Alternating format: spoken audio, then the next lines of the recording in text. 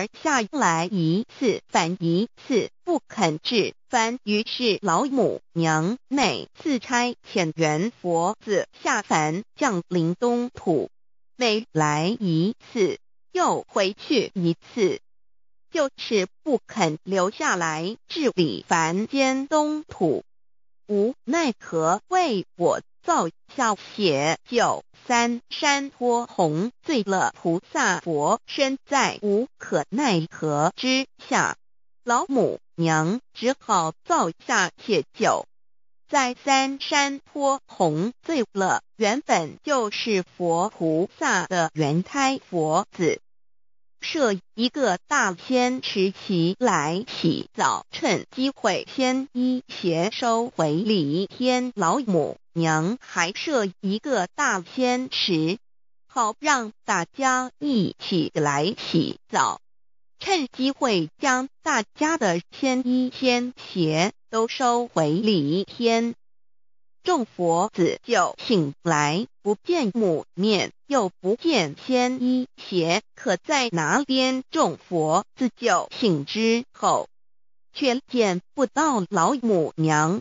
又不见仙衣仙鞋，为娘我悲痛。泪原子呼唤耳众等速东奔，莫要再怜老母娘，因为要与众元胎佛子分离，故而心中感到悲痛而流泪，并且呼唤众佛子速速往东土而去。千万别再留恋于李天之舒适自在。如若是仙一邪教与尔等尔哪个亦不肯再是林凡老母娘，若把仙一先邪交给元胎佛子，则又没有一个肯降临凡间留下来治理世界。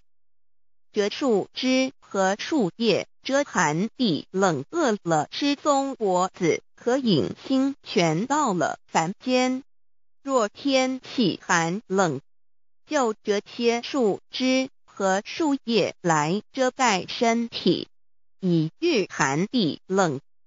若肚子饿了，就取松子果子吃；口渴了，就取清凉泉水喝。众佛子如调回悲哀悲叹问母：我至何时方把家还？众佛子听了老母娘如此吩咐，皆如吊失了魂魄一般，悲伤地哀嚎叹息。纷纷问老母娘：“我们到什么时候才能回家呢？”母言答：“三期末打开普渡清烧书清寂信清度佛缘。”老母娘回答说：“等到三期末节大开普渡的时候，老母娘会亲自烧书寄信给大家，并且亲。”自来度化众缘胎佛子。